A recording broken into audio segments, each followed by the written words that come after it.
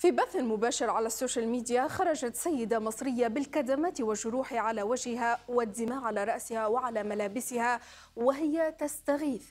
اشتكت من تعنيف وإهانة زوجها لها طيلة عشر سنوات زواج.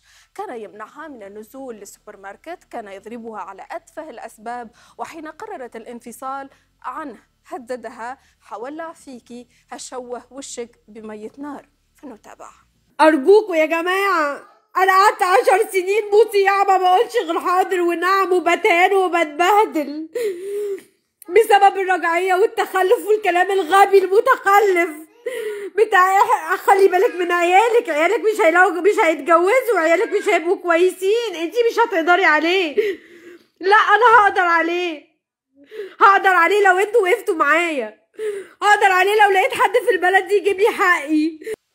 بدأ اسم مريم عاطف شاكر ترند في مصر بعد مشاركة فيديو الاستغاثة على نطاق واسع. كانت تطلب من الدولة والكنيسة تخليصها من زوجها وأبي أطفالها الأربع بعد احتجازها في بيتها خاصة وأنها وحيدة ووالدها متوفي. إلى أن وصل الفيديو إلى محافظ بني سويف أين تقتل مريم وكلف وحدة الطفل والمرأة بمتابعة حالتها في إطار القانون.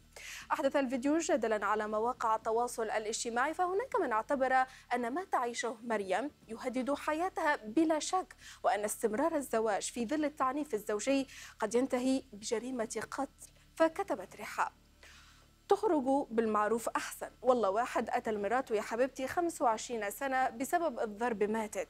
بسبب اتحملي تحملي هي ماتت وهو اتسجن والعيال اتكتب عليهم الفضيحة من صغرهم. وهبة عبد العزيز اعتبرت أن مريم ضحية للمجتمع الذي يجبرها على السكوت من أجل الأولاد حيث علقت. هي دي المشكلة يا مريم.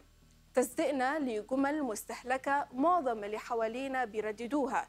الاستسلام بيدمر وللأسف عدم دعم الأهل بيزيد الطين بلة.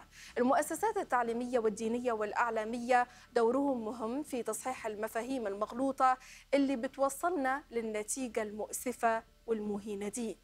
من هناك من لام على مريم وأرجع سبب تعنيفها إليها هي. فوجهت مينا حربي لها هذا التعليق. شوفي انت بتعملي إيه غلط؟ أجبرتيه إنه يعمل معاكي كده وانت لو فعلا بتسمعي كلامه زي ما تقولي ما كانش عمل كده. انت بتقولي كمان مش بيخليكي تقفي في البلكونة ولا تنزلي السوبر ماركت فأكيد في سبب.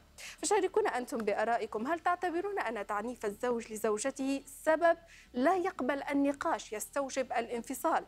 أم بالنسبة إليكم هناك نوع من التبرير المجتمعي للتعنيف الزوجي حفاظا على الأسرة؟